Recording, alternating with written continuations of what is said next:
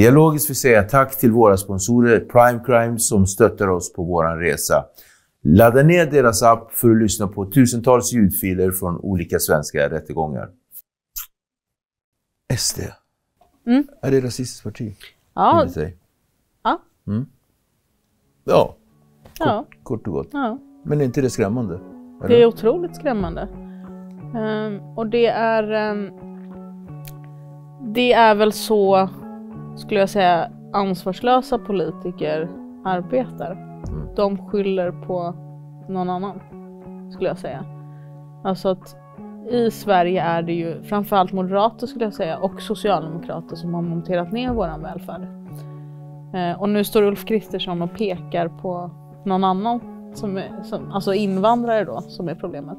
Men det är ju han som har försämrat sjukförsäkringen. Det är ju hans ideologi att försämra sjukförsäkringen. Eh, det är ju hans ideologi att privatisera våra sjukhus och liksom försämra skolorna.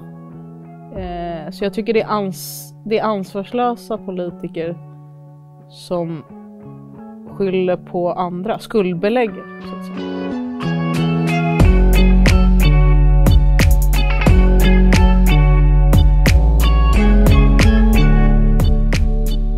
Hej på er och välkommen tillbaka till Dialogiskt. Mitt namn är Viktor och jag är som vanligt er host. Vi vill fortsätta med att säga tack för att ni subscriber, delar, men framför allt tipsar era nära och kära om vår fantastiska kanal. Som sagt, ni är en del av vår livlina. Sådär ja, nu har vi gjort den presentationen och nästa presentation kommer inte bli alltför långrandig. Eh, det här är en eh, person som jag jättelänge har velat ha som gäst. Eh, Personligen så ser jag upp till henne och jag eh, ska som sagt inte vara långrandig. Jag vill välkomna Vänsterpartiets partiledare Nooshi Dadgostar.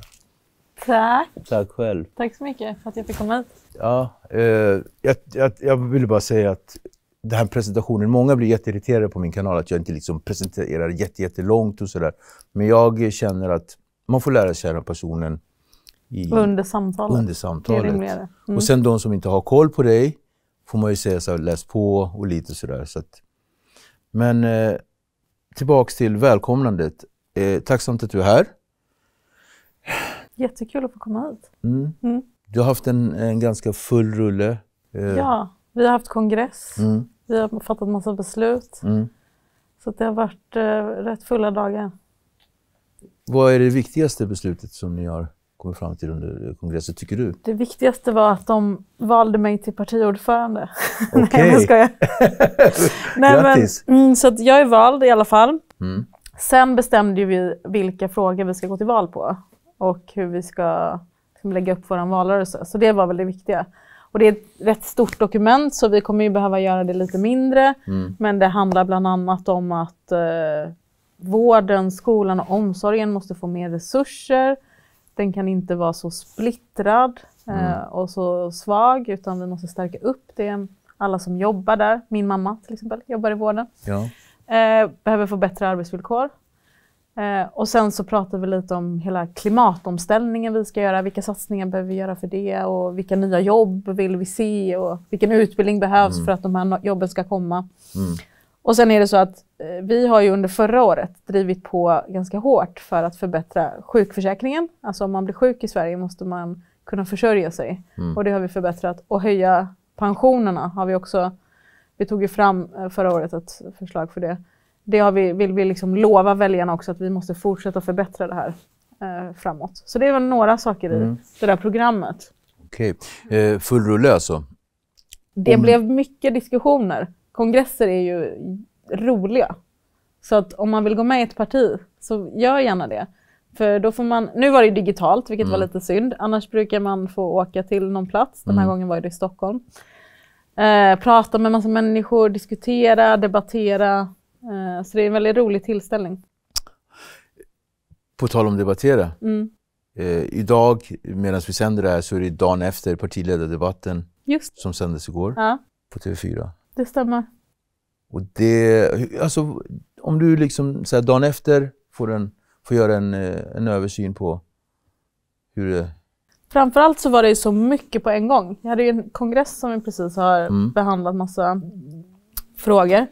Eh, och sen så stod vi i eh, ett stort panelsamtal.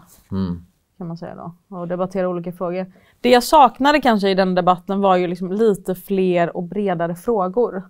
Jag tycker sådana här debatter blir lite svåra och skulle, jag uppfattar det från publiken så lite svåra att hänga med i. Mm. Alla säger bara sina Precis, poänger liksom, precis. och sina förslag och man förstår inte riktigt skillnaden mellan partierna. Mm. Typ alla säger lite samma. Så att jag är lite så här, jag kan förstå den som tycker att eh, de här debatterna kanske inte ger så mycket.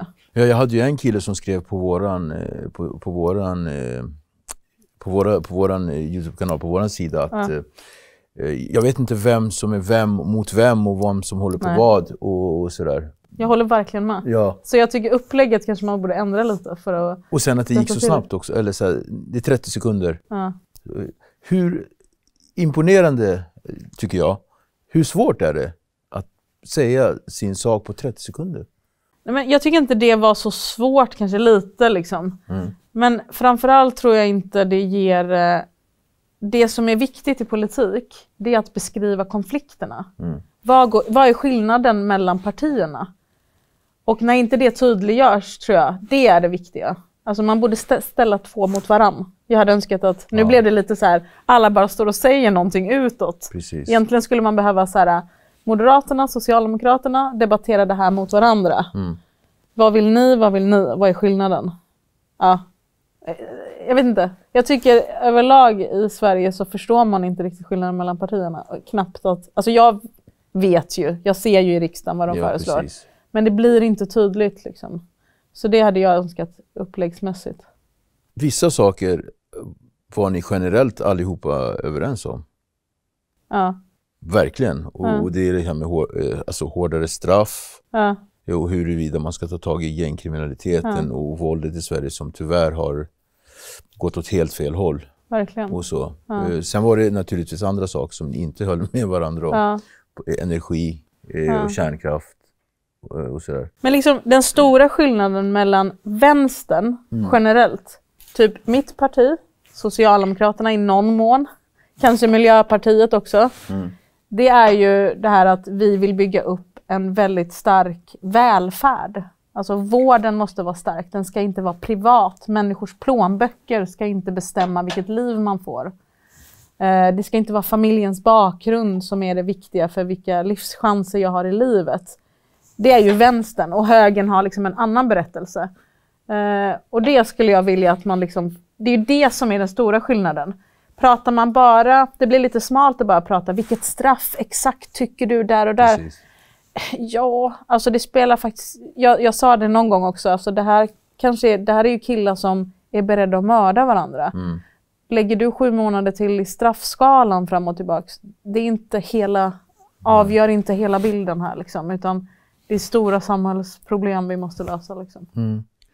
Ska, vi kanske ska stanna kvar i just den här frågan, för den, den är väldigt intressant och, och, och jag tror att jättemånga var, är väldigt eh, på tårna när det gäller straffskala, när det gäller ökade våldet och så här.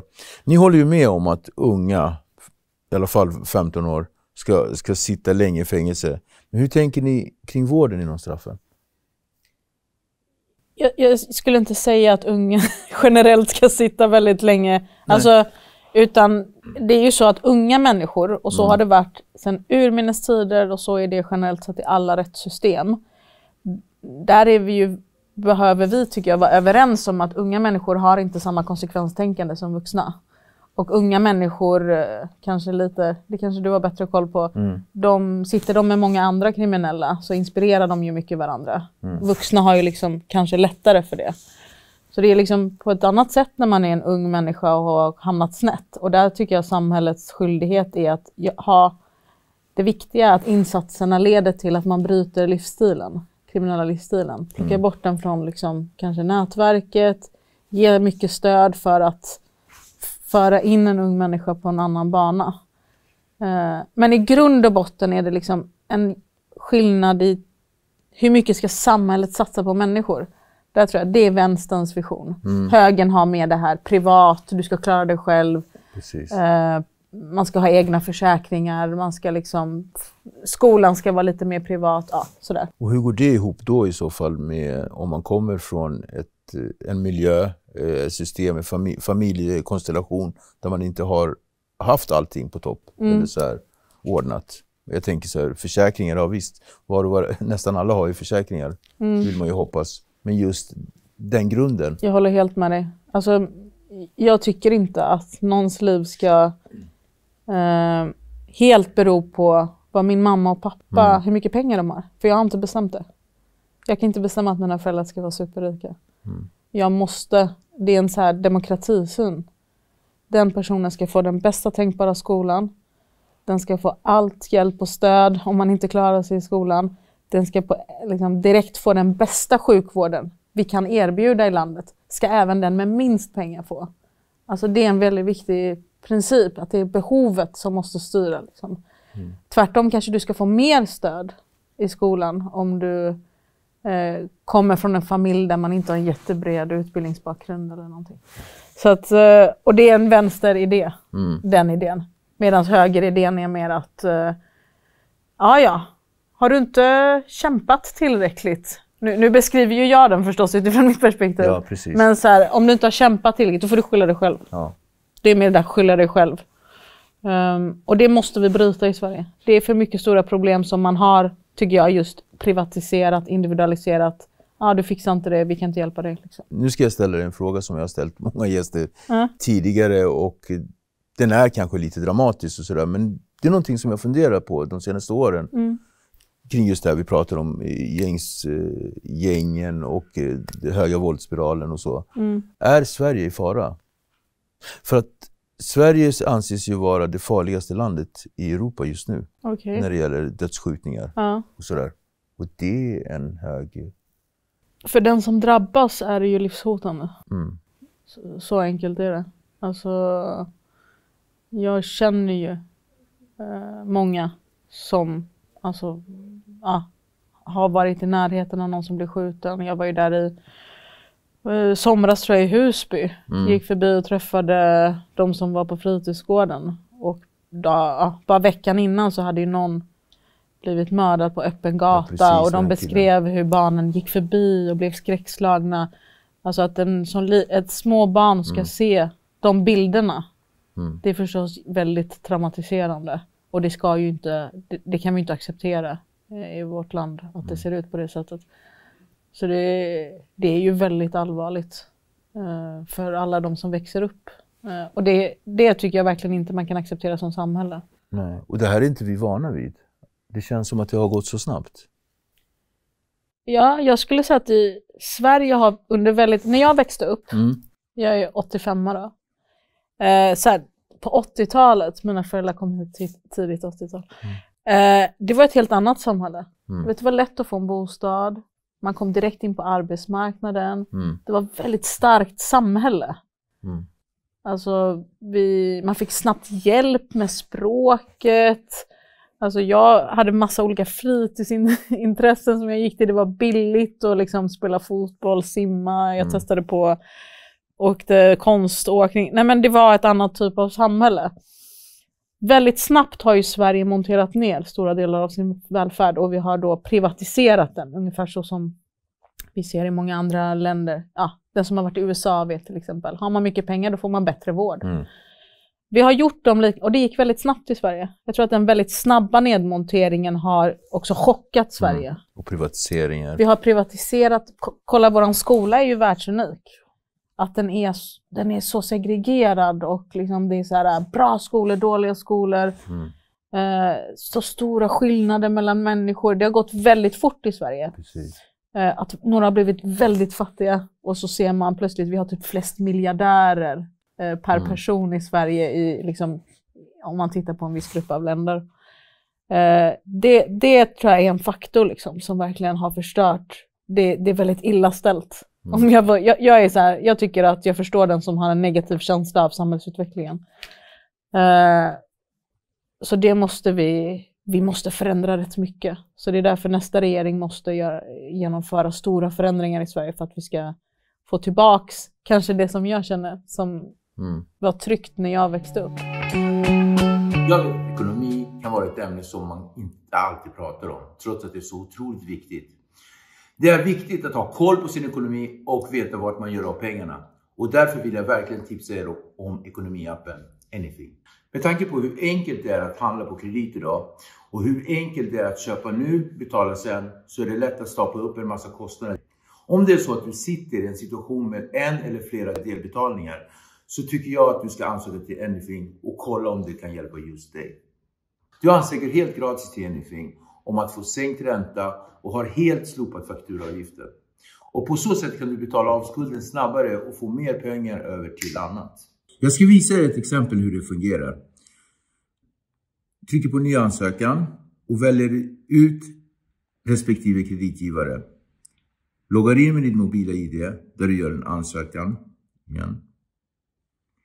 Och så ser du här ett exempel på 13 000 kronor. Fortsätter och skickar in din, med din mailadress eh, din ansökan. Om människan kan hjälpa dig så kommer du få ett erbjudande. Voilà! I det här exemplet så sänker de dina kostnader med 54%. Så kan jag visa hur de har räknat ut. Då har de kunnat sänka den totala kostnaden med 824 kronor. Sen ska jag också visa, visa dig vilka andra bra grejer du kan använda. Till exempel, du kan kolla din månadsekonomi. Det är ett exempel här. Eh, och de har massa widgets som kan hjälpa dig med månadsekonomin. Den kan dela upp din elräkning, kolla ditt sparande. Och eh, du kan se hur många dagar det är kvar till lön och införsel och utförsel i dina respektive konton. Sitter du i en situation där du har en eller flera krediter eller delbetalningar, ansök till Anything och kolla om de kan hjälpa just dig. För när du växte upp så var vi någonstans på sluttampen. Det är kanske bara en känsla jag har för jag, jag är också När är du född? född på 70-talet så att det är jättetid, mycket tidigare. Jag kom tyvärr i slutet på, 70, på, på 70-talet, 79 så att 80, ja men så det, är, det där kändes också lite som att det är slutet på, på, började bli slutet på folkhemmet. Så det, Mm. Jag, så. jag, jag delar det. Mm. Alltså 90-talet skar man ju ner väldigt mycket. Mm. Det var ju en sån där era där Tackar. alla mina vänner som är i min ålder är ju så här, ja de skär, skar ner i skolan, vi var ute och demonstrerade mot det. Det är ju det man kommer ihåg. Förutom typ Spice Girls och Backstreet Boys och såna grejer på 90-talet så var det ju liksom det som var det stora i Sverige. Att vi typ började. Och sen tycker jag det som är så hemskt Mm. att eh, vi har inte återhämtat oss. Det bara fortsatte och det gick neråt. Eh, så det typ är kanske det viktigaste jag känner som politiker. Mm. Jag vill se en förändring. Jag vägrar vara kvar i, i det 90-talet. Nej. För mitt land håller på att gå sönder. Vad, vad är det som gör då eh, att, eh, att jag är kvar i det här med gäng och våld och sådär? Hur stryper man det? Och vad är det som gör att det liksom går åt fel håll så markant? Du har ju varit lite inne på det. Ja, att- det är den här väldigt kraftiga nedmonteringen tror jag. Ja. Har, har spelat väldigt stor roll. Eh, sen är det ju typ som du har bra koll på, alltså narkotikahandel är ju den stora delen. Mm. Det var ju, det, vet ju jag. Jag har varit kommunpolitiker i en kommun som heter Botkyrka till exempel. Vi hade rätt stora problem med det. Och eh, vi har ju ändå en slags drogepidemi. Alltså, det är mycket droger i samhället och det är klart att det är en enorm business. Mm. Och eh, köper man så mycket droger, jag, jag drog ju det i debatten igår, 30 miljoner i veckan Precis. bara i Stockholms innerstad. Jag En menar, då, jag menar, kom igen. Då, Ja. då förstår man ju vilka pengar det handlar om. Det är Mm. därför liksom, det drar ju väldigt mycket. Eh, och det är såklart i kombination med en människa som inte ser andra livschanser, som inte har någonting att försvara, Mm. utan kan tänka sig att göra det här med, eh, trots att man kan mista sitt liv då. Mm. Så att eh, jag tror det är en kombination av drog, droger, så att säga, drömmen om väldigt stora pengar och väldigt trasiga familjeförhållanden och liksom ett samhälle som inte finns där. Det är ju bara liksom... Och, och Miljöpartiet var mycket inne på att just att vi ska börja i änden när det gäller förebyggande och alltså fritidsgårdar, familjen och, och så, så slipper vi ha individer som är ute på gatan och skjuter och, och Mm. gör dessa brottsliga handlingar. Men nu har vi ju några som redan är där. Hur gör man med dem? Eh, förebyggande, absolut. Men hur gör man med dem som redan är... Nu, nu, alltså, nu försöker jag bara... Det känns som att jag lägger ord i mun på det. Men, jag Men tänk, jag är tänker, inte det du gör väldigt viktigt? Ja, ja, jag tänker på Ja. eh, missbruksvården. Precis. Fram, eh, del, är ett av dem. Och rehabilitering Mm. eh, under fängelsetiden. Det kan jag eh, personligen tycka är ju någonting som kan fattas i den här länken. Det håller jag så mycket med dig om. Mm. Alltså det här med att äh, återfall då. Mm. Liksom, hur ska vi använda den här tiden till eh, att eh, få bort, alltså är man drogmissbrukare det är ett ganska liksom, stor fråga för en i livet. Mm. Där behöver vi verkligen satsa mycket pengar. Missbruksvården är ju extremt underfinansierad. Visst är det det? Absolut. Alltså den finns inte.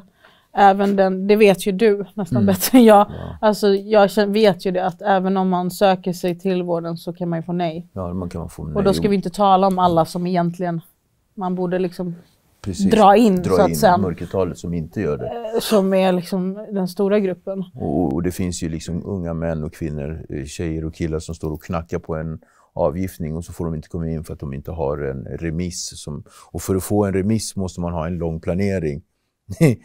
Alltså, och en, för att få en lång planering, alltså det blir så här. Vad skulle vapen. du säga behövs? Ännu mer? Alltså i din verksamhet?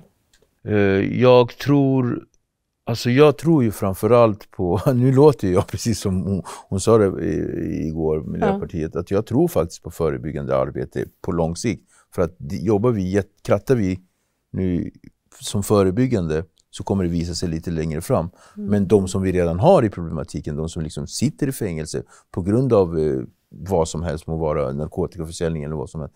Det, det är liksom rehabilitering. Vad är det som händer inne på Mm. anstalt? Eh, ska man få komma, komma ut utan att ha saker som är ordnade som bostad, Mm. eh, skulder, eh, att det ska finnas några kriterier för när man sitter på anstalt att man inte bara ska göra sin tid utan det, vi ska jobba med, med, med dina skulder. Vi ska jobba med att du har ett hem att komma hem. Har du ingen familj så fixar vi en, substitutfamilj. Eller alltså, så här, som vi, ja, men det låter jätteromantiserat kanske utav mig men någonstans någon form av att man bara inte kommer ut till någonting. För det är så många som bara kommer ut med den här papperspåsen och så har de något som kallas eh, permissionskontot som har sparats i ett och ett halvt år och den ligger kanske på 1600 kronor när man muckar.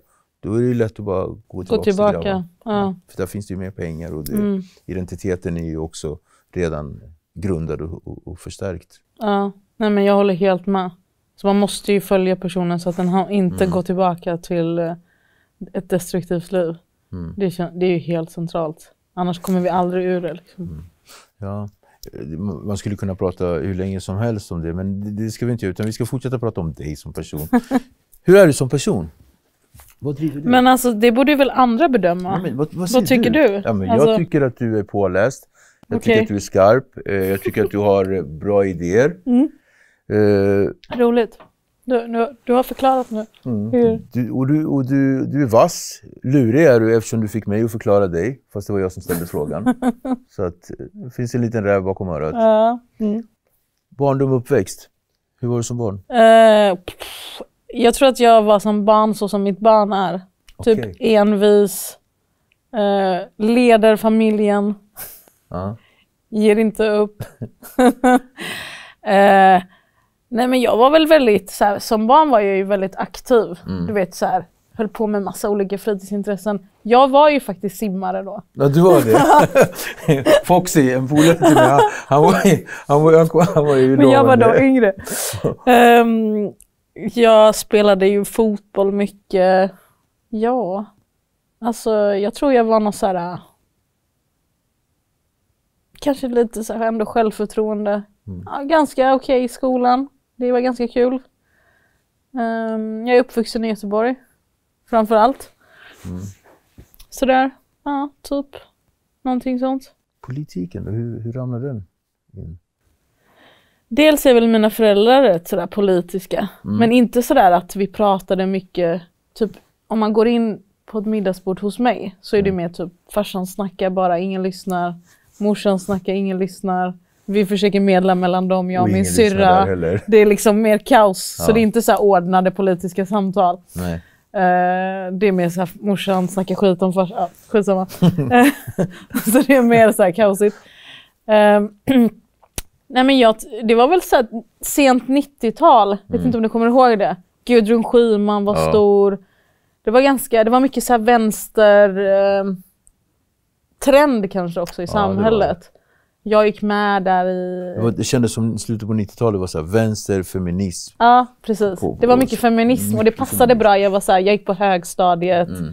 Jag kände, jag och killarna hade ingen skillnad på oss. Så det var Mm. lite med det liksom jag gick in. Det var kul. Ja. Mm. Jag vet inte om det... Ja, Ja, sådär. Men fanns det någon tidpunkt då du kände så här, det här är det jag vill hålla på med? Eller liksom vart det successivt? Jag tänker på... Jag har egentligen aldrig tänkt att jag ska hålla på med det här Nej. så mycket. Utan jag har blivit indragen i det lite Eller hur? Ja. Jag tänkte jag skulle göra som mina föräldrar sa. Skaffa ett, en utbildning, skaffa ett riktigt jobb. Mm. Ett riktigt jobb. Ett ja. riktigt jobb. Ja. Så de, de liksom, när jag kom in i riksdagen var det så här. När ska du ta din examen då? De, liksom, de förstod inte. Från en familj som är tänkare, så det fanns lite, lite så höga krav. Ja, ja, visst. Ganska hög krav. Men jag vet inte om de tycker att det är ett riktigt jobb det här. Nej. Tycker du att det är ett riktigt jobb? Eh, jag jobbar i alla fall på dagarna. Ja. Så det, det tycker jag väl. Ja, om det har varit så mycket sena kvällar ända sedan i fredags Absolut. så jobbar du Den här, garanterat. den här senaste dagarna har det varit rätt mycket jobb. Det Jo garanterat. det är rätt mycket jobb. Du är uppe på tapeten en hel del. Eh, Alltså det blir man ju som partiledare. Ja. Men om man ska backa, till, backa tillbaka bandet så ska jag citera dig från någonting som slog mig eh, den eh, 21 juni. Mhm. Och jag kommer ihåg det. Jag skulle, om det inte var att jag Gud. har så dåligt minne, Mm. så skulle jag egentligen bara kunna köra rakt upp och ner. Men jag läser därifrån. Vi har hamnat i den här situationen för att högmod och orosonlighet överordnat landets stabilitet och den politiska kompromissviljan.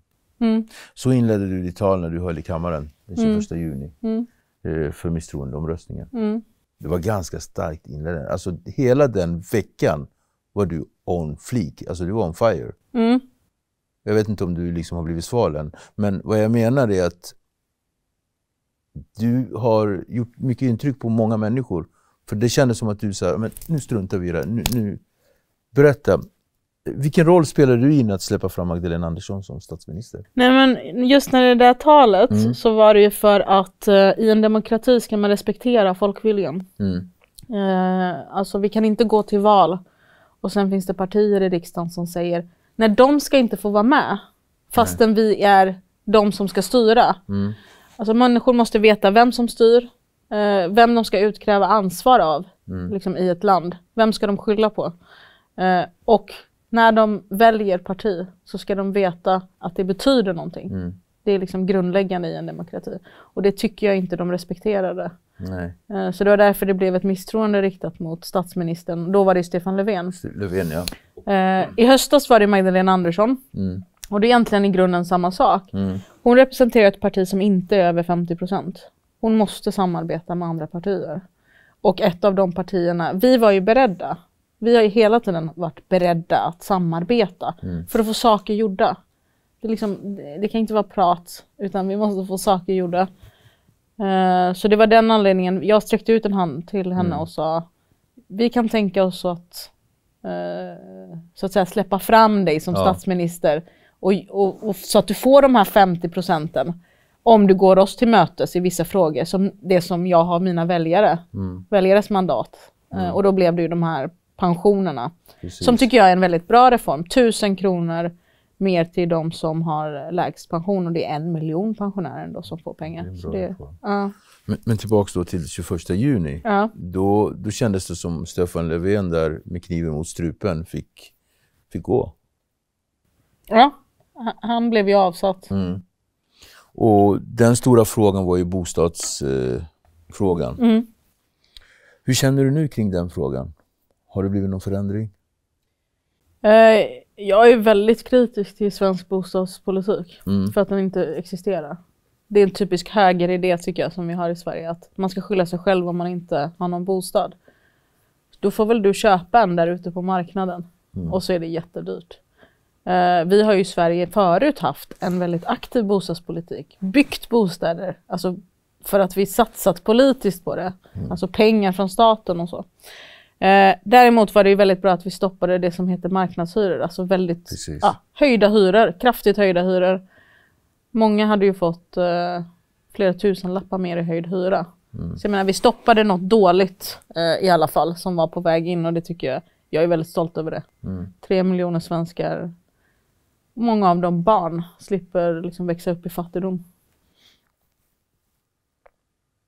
Dagens Vänsterparti, vad är det för skillnad på dagens Vänsterparti och gårdagens VPK? Alltså jag är tvungen att ställa den frågan. Jag var ju inte med då, Nej. så jag har väldigt svårt att liksom, eh, bedöma det. Men den förnyelse som jag försöker göra med mitt parti idag, mm.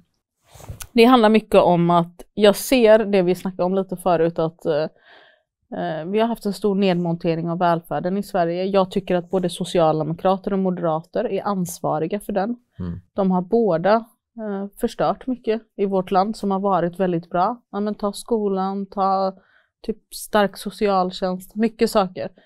Eh, och därför ser jag att även mitt parti har liksom tryckt på för lite och inte sagt att vi vägrar vara med. Liksom, om, inte vi, om, om, vi, om vi inte ser någon förändring. Så där tar vi också på oss ett ansvar att nu behöver vi förändra det. Vi måste få igenom saker. Liksom. Mm. Vi måste förändra saker på riktigt och vi lovar att vi ska få in det. Utställer vi ett löfte till väljarna kommer vi lova att genomföra det. Eh, vi kommer inte bara prata i seminarier, utan vi lovar att göra det. Mm. Ungefär så som vi gjorde förra året. Stoppa marknadshyrorna, eh, förbättra pensionerna, förbättra sjukförsäkringen har vi gjort.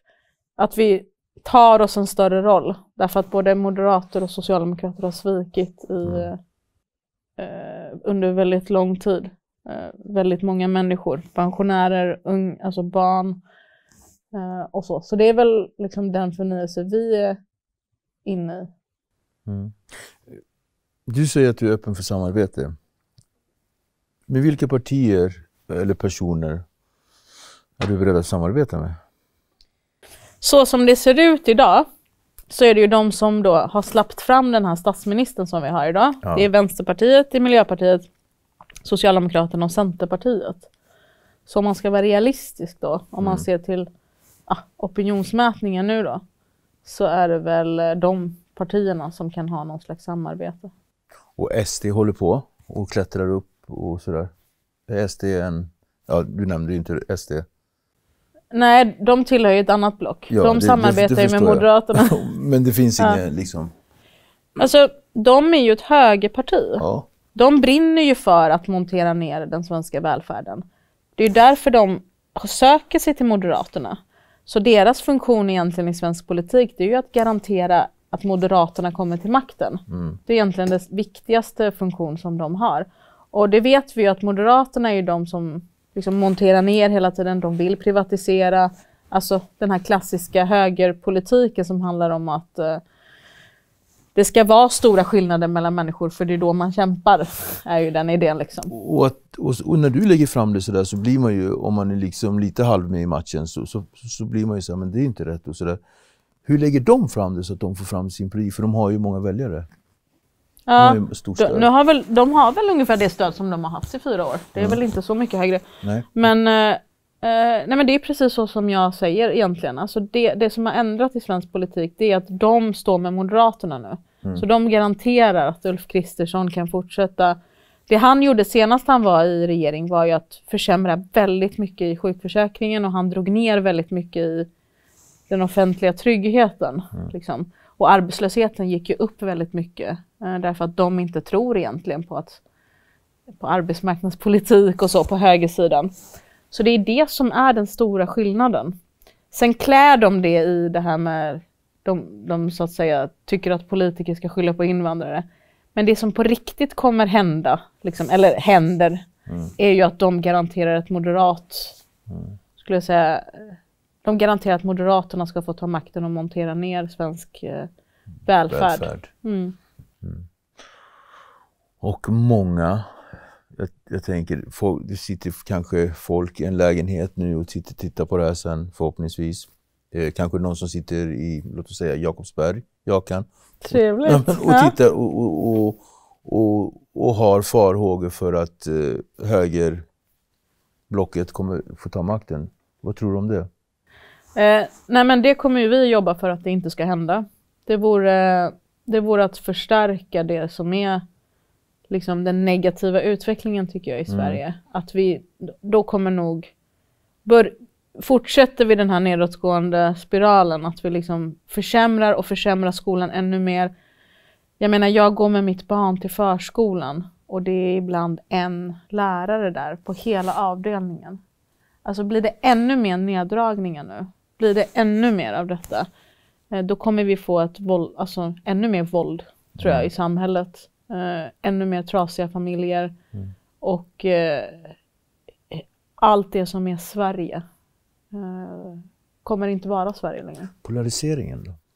Hur, hur allvarlig är den just nu? Tänker du mellan, eh, liksom, men, alltså, stora klassklyftor skapar ju konflikter i ett samhälle. Precis. Så är det. Och jag tänker på invandringsfrågan också som Okej, höger. ja. Det är den polariseringen jag tänker på. Ja. Och, och så, för vi var ju lite inne på rasism och sådär. Vad vi, ja. Va- Var vi det? Ja, men det, Ja. det kändes som... Nej, men inte, det var vi inte alls, förlåt. Vi var inne på invandringen, Ja, om ja. Jag är helt, Ja, jag är vet. helt Jag tänkte det är så SD beskriver det, men så att säga, i praktiken är det ju att de bara, de är till för att Moderaterna ska ta makten. Mm. Okej. SD. Mm. Är det rasistiskt parti? Ja? Ja. Mm. Ja, ja, kort och gott. Men är inte det skrämmande? Eller? Det är otroligt skrämmande. Ehm, och det är, ehm, det är väl så, skulle jag säga, ansvarslösa politiker arbetar. Mm. De skyller på någon annan, skulle jag säga. Alltså att i Sverige är det ju framförallt moderater skulle jag säga och socialdemokrater som har monterat ner våran välfärd. Eh, och nu står Ulf Kristersson och pekar på någon annan, som är, som, alltså invandrare då, som är problemet. Men det är ju han som har försämrat sjukförsäkringen. Det är ju hans ideologi att försämra sjukförsäkringen. Eh, det är ju hans ideologi att privatisera våra sjukhus och liksom försämra skolorna. Eh, så jag tycker det är, ans det är ansvarslösa politiker som skyller på andra, skuldbelägger så att säga. Mm. Invandrare. Ja. ja, Så hur ser du på dig själv? jag, eh, jag försöker orientera mig själv i, i det här hur SD har blivit så stort. Jag fastnar på SD, men just så här, Mm. alltså, att de har blivit så stora, var, varifrån missnöjet har kommit som gör att, många, att de har fått många väljare. Eh, och så. Det, det jag undrar.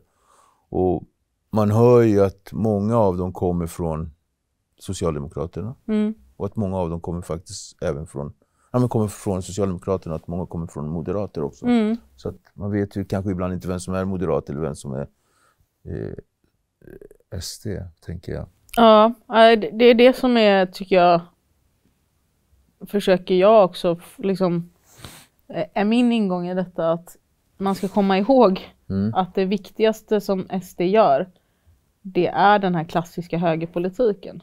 De la ju en budget i riksdagen förra året. Jag menar det viktigaste i den budgeten var att de tog bort allt stöd till byggande av nya billiga hyresrätter. Mm. De eh, såg till så att funktionshindrade personer ska betala högre skatt än de som inte är funktionshindrade. Eh, Okej. De- Ja, det? för det är deras politik. Det, det, är den, det är klassisk moderat politik. Alltså, det är det som jag tror är synd att kanske många tror att SD är något annat. Det kommer bli moderat, alltså det är moderaternas ekonomiska politik. Eh, och eh, de tog bort en massa satsningar på ja, men arbetsmarknaden och jobb och så vidare.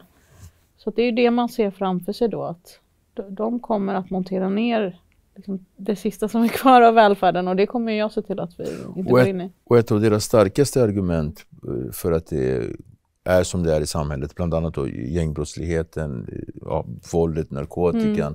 och att Sverige är på väg åt fel håll, eh, är ju invandringen. Att man Mm. har tagit in för mycket invandrare och, och lovat guld och gröna skogar men inte kunna hålla det och sen så har man skapat en massa personer i utanförskap. Mm. Så det de säger är att Tänk då att de säger det där mm, och sen röstar de ändå bort att vi ska bygga nya billiga hyresrätter. Och så skyller de på någon annan, eller hur? De själva har fattat beslut om det. De själva säger att funktionshindrade ska betala mer än andra. Och sen säger de något om... Alltså, det, det som jag vänder mig emot är, det är politiker som monterar ner väldigt mycket, förstör vårt land mm, och sen skyller på någon annan. Det gillar jag inte. Eh, har ni någon makt att kunna ställa hårda krav på Socialdemokraterna? Vi har makt i vårt, alltså vi finns inte till för att ställa krav på Socialdemokraterna. Utan vi kommer förändra själva. Själva? Eh, Efter, utifrån hur mycket röster vi får naturligtvis. Och det beror ju helt på det. Eh, Det är hela poängen därför att Socialdemokraterna har misslyckats. Finns det någonting, om vi lämnar Socialdemokraterna och går tillbaka till det där jättehöger. Alltså finns det någonting i, med högern där du känner att ni kan mötas? Finns det något? Eh, Ja, Förutom hårt straff? de är ju än så länge, de flesta av oss, de är ju för allmän och lika rösträtt. Så det tycker jag är bra. Att de än så länge. Förr i tiden var de ju emot det. Men de ändrade ju sig. Mm. Eh, Så det är bra. Varför Där, tror du de ändrade sig då? Moderaterna, de var emot, och Centerpartiet var ju också emot allmän och lika rösträtt. Nej, det var ju för att det var så många från, från vänstern och Liberalerna som tryckte på. Så de kunde inte säga nej. Men det, men det där är väl en konst i, i en demokrati? Ja, de var ju emot demokratin då. Ja, det blir inte, blir inte det. Det. Jo, nu, nu är de ju för demokrati. Ja, jag det förstår bra. det, nu, men jag bara satt och tänkte. och- att, Nej, men de, det är ju den historia som de partierna har. Liksom. mm. Mm. Har du förändrats som person sen du blev, eh, med den makten du uppenbarligen har fått? Har du förändrats som person? Känner du det? Ehm, jag tror inte det faktiskt. Inte så mycket. Vad säger Jag- jag- dina närmaste? Bor i samma lägenhet och... Typ det man förändras lite är ju liksom att man får mer att göra. Så Mm. det är svårare att träffa folk. Men det har ju lite med pandemin också att göra. Mm. Men i grund och botten, nej, inte så mycket faktiskt. Alltså, det är mer jobba, så man träffar inte kanske Mm. gamla kompisar så mycket. På tal om pandemin. Hur tycker du att den har skötts? Hela den här, de här senaste två, vad är det, två och ett halvt, Det känns så sjukt. Det är väldigt skönt att det är borta. Mm. Eh, Jag tycker att den, den, det skrämde mig så mycket hur dålig, hur dåligt man kunde kontrollera den här pandemin Mm. eh, i äldreomsorgen. Alltså det kaos det skapade. Särskilt typ här, vi sitter i Stockholm nu. Mm. Eh, det var ju liksom, i Stockholm är det nästan hundra olika företag som äger hemtjänsten. Så det är så här, gå inte att samordna någonting, allt är kaos, det finns inga lager av skydd, kommer jag ihåg. Det var ju liksom, och det, finns, det är massa, hela verksamheten är byggd på timanställningar, så det går in och ut hur mycket människor som helst. Eh, det var väldigt skrämmande. Det, det ser ju jag som mitt projekt att vi måste ändra äldreomsorgen i Sverige. Det är ett viktigt jobb att eh, en äldre person ska få en värdig behandling. Ja. Det är inte maskiner. Det är liksom inte en fabrik här. Man måste få en trygg anställning. Det är liksom, man måste ha eh, arbetsvillkor som är tillräckligt bra så att det är ett seriöst arbete. Ja, så det gjorde mycket intryck på mig. Och även när det gäller vården. Det är så, min mamma jobbar i vården. ja. Så många människor är ut, eh, slutkörda. Eh, och det har verkligen visat sig att eh, vårdorganisationen fungerar inte.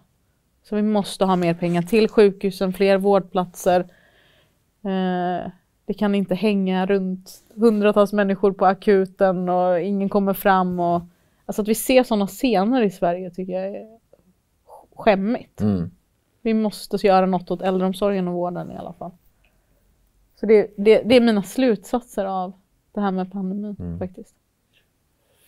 Ja, det, varit, det känns som att det har varit ett långt, alltså långa två år. Ett parallellt liv nästan. Ja, Ett helt annorlunda annat liv. liv. Det är nästan så att man inte vet hur man ska komma tillbaka Ja. från det. och, nästan lite så att man känner så här, men ska de verkligen upp, öppna upp igen? Ja, och man märker ju själv lite att man är så här. mycket försiktigare än förut. Förut kunde man ju gå till jobbet och vara halvsjuk liksom. Ja, precis. Nu vet jag inte ens om man vågar det. Vad gör dig glad? Vad gör dig riktigt, riktigt glad? Jag älskar Spanien. Spanien? Ja. Så jag, Okej. jag reser gärna dit. Mm. Senast var jag typ i eh, en liten ort vid Malaga. Mm. Gå lite på stranden, äta lite tapas, ta en liten eh, öl. Mm. Typ chilla med barnet. Spansk musik? Ja, Det funkar? jag, jag, jag bodde ju i Spanien när jag var 17. Okej. Så då blev jag helt kär i Spanien. Så jag älskar Spanien. Så dit åker jag gärna. Eh, Barcelona är kul, men också typ Madrid. Eh, annars åker jag väl, om jag inte är i Spanien så åker jag hem till Göteborg. Och det är också eh, skönt och roligt. Så det gillar jag att göra. Vad gör du för att, alltså du har ju fullspäckat schema i Mm. allt du gör, känns det som, Mm. Uppenbarligen. Eh, vad gör du för att eh, slappna av? Vad gör du för att komma bort? Hur gör du? För att återhämta dig? Nej men jag är väldigt såhär, na- jag kollar liksom på TV, typ någon serie. Okej. Senaste Sex and the City liksom, säsongen. Du är inte så imponerad. Nej. Nej, men, jag vet, den, alltså, var, den var faktiskt riktigt dålig. Jag håller med. Den var Ja. inte, men det var så här, jag var ändå tvungen att se det. Eh, men eh, du gillar väl, eh, vad heter den? Game of Thrones? Nej, Vad du skulle säga? jag är så, nej, jag är så dålig på Game of Thrones. Ja. Eh, Succession. Va? Succession, kollar du på den? Eh, är det med han eh, från Det är den här- Arkivex? Vad Nej. heter han? Nej. Okej, du, du vet Okej. ju vad det är uppenbarligen. Mm. Ja. Ja. Den är ju Den är jättebra. riktigt, Ja. Verkligen. Så det, så det är Sex and the City. Succession. Succession, ja. okej. ja. Eh, det, det handlar om en familj va? Media Ja, exakt. Jag var företag. helt inne på. Ja precis, det är väl typ Murdoch. på Ja. HBO. Mm. Mm. Ja, den är bra. Mm. Ja, men då ska jag, ska jag titta lite på jag, jag föreslår att du tittar på Gomorra faktiskt. Jaha, Ja. okej. Det, Ja. det, det är bra Är grejer. den realistisk? Relativt. Mm. Parallell, Spännande. på, på tal om parallellvärld. Ja. Men det är bra. Det är mörkt och, och sådär. Men jag gillar Okej, jag ska kolla på det. Men det är väl typ... eh, true ja. crime. Nej men sen så, du vet, gå ut med vänner, Mm. ta, äta på restaurang. Vad gör dig riktigt arg då? Vad kan göra dig riktigt sned? Det är väl så här politikgrejer. Alltså Mm. jag blir arg på Men är det så här... partier, ja. på, de gör fel saker. Mm. Mm. Så att, och, och hur mycket får man som politiker uttrycka sin eh, frustration och ilska? Eller hur, hur mycket kan man uttrycka? Om man till exempel står där uppe på podiet och säger ah, fru ta- eh, herr talman, är det fru eller herr talman? Det är någon talman. Det, det är olika. Det är olika, okej. Ja. Och så bara... Alltså det är klart, du har ju en mikrofon så du behöver inte skrika. Nej. Men eh, det hjälper ju inte, men det är klart att man känner ju mycket känslor. Mm. Det gör jag. Jag är en sån här känslomänniska ändå. Ja. Jag blev upprörd. Alltså jag blev upprörd att de inte backade från marknadshyrorna.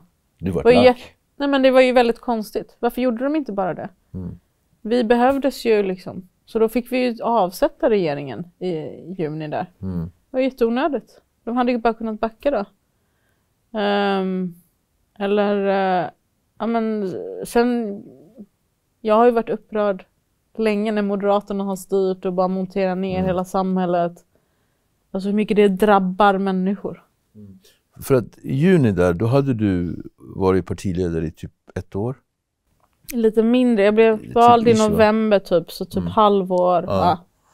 Så, eh, känns det som att du så här, gjorde ett avtryck så att de hajade, att resten av, alltså ja, det tycker jag. att de sa okej, den här tjejen, det var det här vi skrev Vad under tycker på. du själv? Jag tycker ju det, men Ja. jag, ja men absolut. Jo men eh, det var ju första gången någonsin mm, som vi har avsatt en statsminister. precis. Så det var ju historiskt. Det är ju historisk Det är historiskt. verkligen. Ja, nej men jag tycker det behövs. Jag tycker eh, politiska systemet eh, har stagnerat. Jag tycker vi behöver skaka om lite. Vi skaka om lite. Faktiskt. Det- Men det var ju liksom inte därför förstås, utan jag- det är ju för att vi ska förbättra för människor. För att alla som har röstat på Vänsterpartiet ska veta att vi kommer kämpa för dem. Mm. Så enkelt är det. Liksom, det är mitt jobb, jag måste kämpa för alla väljare. Det är demokratin liksom. Det är valår. Vad händer? Förutom allt som ska göras. Alltså, hur, hur känns det? Vad har du för... Det känns som ett väldigt viktigt val. Mm. Alltså, eh, vi måste förändra Sverige. Utifrån allt det vi har pratat om idag. Mm. Eh, Jag ser det som att vi inte, börjar vi inte göra det nu så vet jag inte, så blir det jobbigt att komma tillbaka från det. Liksom. Så det är väldigt viktigt att eh, vi får en ny regering som gör... In, vi kan inte ha samma mandatperiod som vi har haft den här gången. Mm. Det har varit alldeles för mycket neddragningar, privatiseringar. Alltså, eh, de har gjort sönder till exempel Arbetsförmedlingen. Och den älskar väl inte alla. Men till slut leder det till att vi har inte kontroll över någonting i samhället. Vi kan inte rätta till någonting. När vi bara har sålt ut allting. Så att vi, vi måste hindra det. Alla barn ska växa upp tryggt. Vi måste utjämna skillnaderna mellan människor. Ehm, På vilket sätt har de sönder Arbetsförmedlingen? de privatiserade ju sönder den Mm. så de, och bara skar ner alltihopa. Ehm, och faktum är att om man blir arbetslös Mm. så behöver man liksom en utbildning, hjälp, komma tillbaka. Och någon som kan lägga väldigt mycket tid på dig. Mm. Särskilt om man har vissa behov. Finns inte det, då kommer arbetslösheten bli mycket högre. Och det är ett problem. Så att den, är lite, den går lite parallellt som med kriminalvårdens, den där tanken med kriminalvården. Ja, faktiskt. Men det handlar ju om den här grundläggande skillnaden mellan höger och vänster, tycker jag. Att samhället blir bättre för alla. Mm. Om vi tillsammans har kontroll över vissa saker. Vi måste ha kontroll över skolan också. Att den, att den är jämlik. Mm. Att alla får efter behov. Eh, resurser och hjälp. Att det finns mycket hjälp. För du var lite inne på det. Mm. Det är bättre att satsa tidigt. Precis. Det blir bara dyrare sen. Ja. Så det är inte så smart. Jo, det blir bara dyrare på olika plan också. Ja, ja, på, olik, på massa plan. Precis. Så det samhälle jag förespråkar, det är ju billigare samhälle, Mm. liksom egentligen. Mindre utgifter. Ditt drömsamhälle, vad skulle det vara? Uh, alltså på riktigt eller liksom, Så. du vet gratis Fanta, så tänker jag.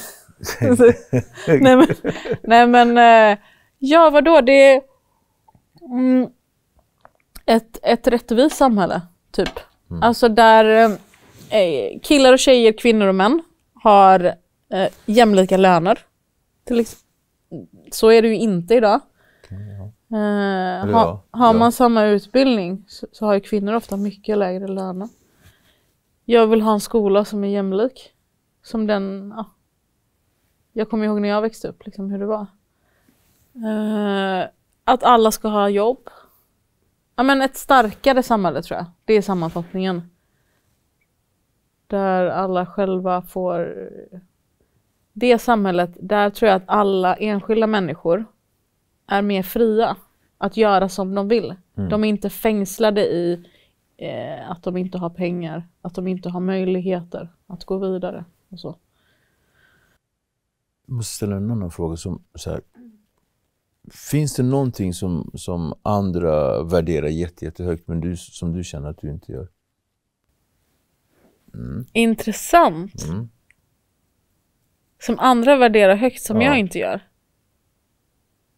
Många av mina gäster har ju svarat... Vad svarar de då? Mobiltelefon, sociala medier. Det kan ju vara banala grejer också men jag vet inte. Alltså att de inte värderar eh, Nej, men sociala medier. Folk, ja, men folk är så här, ja, jätteinne och att de känner att sociala medier är inte värsta grejen för dem. Sådana svar har jag ju fått. Ah. Den är men det, Gud det, vilken intressant fråga. Ja. Alltså säkert. Det tror jag. Inte värdera så högt. Uh... Jag vet inte. Gud jag tycker det var en jättesvår fråga. Jag vet inte riktigt. Men sug på den karamellen Ja. någon minut till i alla fall. Socialdemokraterna. Tage Erlander. Ja. Det är ju en förebild för dig, eller hur? Du garvar. Kan man säga. Kan man säga ja, det? Visst, visst. Har du andra? Jo, grejen med Tage Erlander, Ja. han är ju förstås eh, en landsfader därför att han satt så länge och Ja. genomförde alla de här stora reformerna som har byggt Sverige. Mm. Alltså hela pensionssystemet som vi i och för sig har då gjort sönder nu.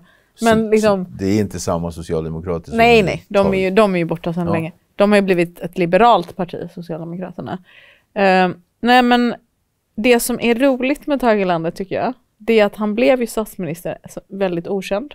Tidningarna skrev ju okänd man har Mm. blivit statsminister.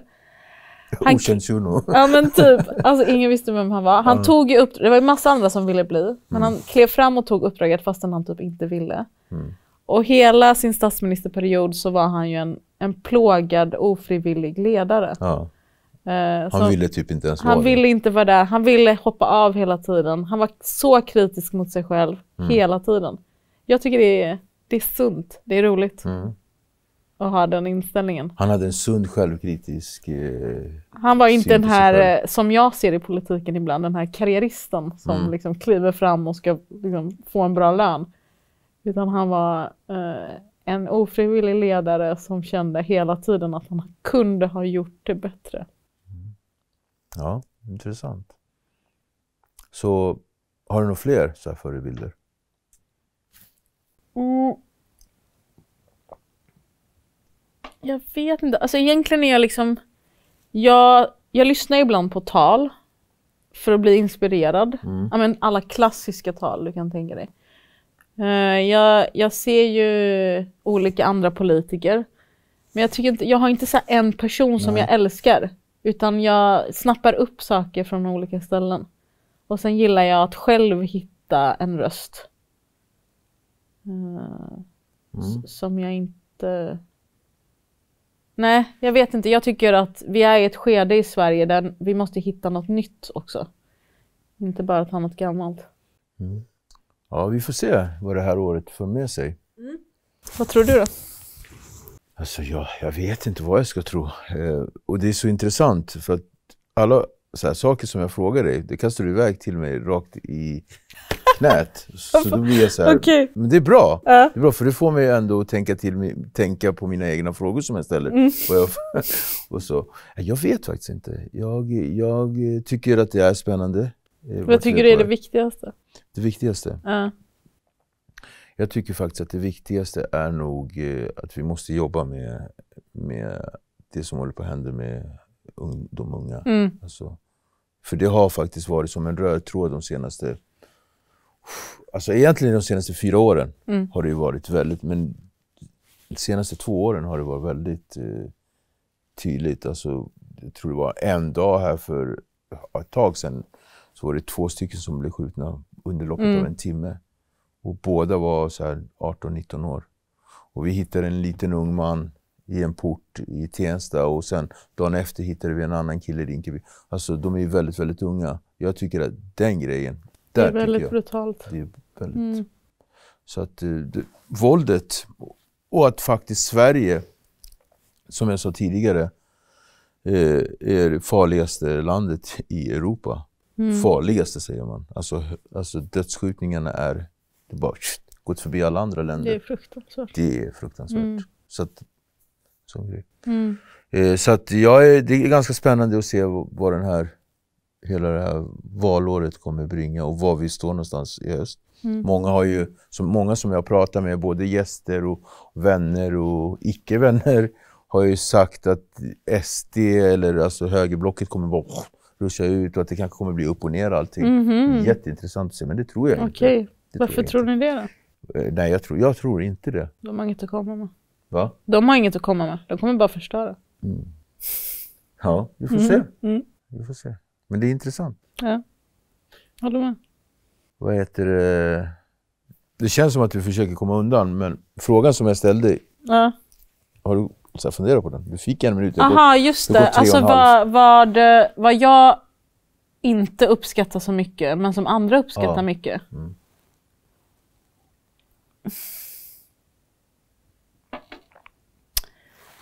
Men ge mig mer grejer. Sociala men- medier sa någon annan. Ja, vad, någon- vad har de andra någon svarat? har ju sagt sociala medier. Eh, sen var det ju någon som sa, vad- vem var det som sa det? Någon sa sociala medier. En annan har ju sagt så här, ja att eh, eh, sällskap, andra människors sällskap. Jag, jag vill hellre vara i fred. Okej. Lite sådana grejer. Så, att- Jag tycker det är roligt att hänga med andra. ja. men, men om vi vänder på det. Ja. Vad, vad, är, vad för någonting känner du att du värderar högt, men som alla män? Alla Just det, jag inte? värderar högt sömn. Mm. Det är kul. Mm. Det, jag gillar att sova. Så sömn är inte överskattat för dig? Nej, det är roligt. Nej. Det är kul att sova. Eh, jag gillar ju att gå ut och ha roligt. Liksom. Men det vet jag inte, det kanske man inte heller behöver. Men det, kanske, det som jag kanske gillar mycket som andra inte tycker är så kul, det är att liksom bara slappa lite. Ta, kolla på fotboll på tv och så. Är du lat när du ska Jag vara älskar lat? det. Va? Är du lat när du ska vara lat? Jag tror att jag är väldigt så här, jag är bra på att vila koncentrerat. Så jag vilar och sen går jag och gör någonting. Det var ett jättebra ord, det ska jag använda så fort jag inte gör det jag ska. Jag vilar koncentrerat. jag liksom, Ja, nej men så här, man jag gör måste mitt vila bästa när jag för att få vilar. vila. Ja, Ja. och sen så fortsätter jag med det jag ska göra. Jag gillar att kolla på sport på tv. Det är så här avslappnande. Vintersport. Alltså jag är mer sommar, Mm. sommarperson tror jag. Ehm, ja.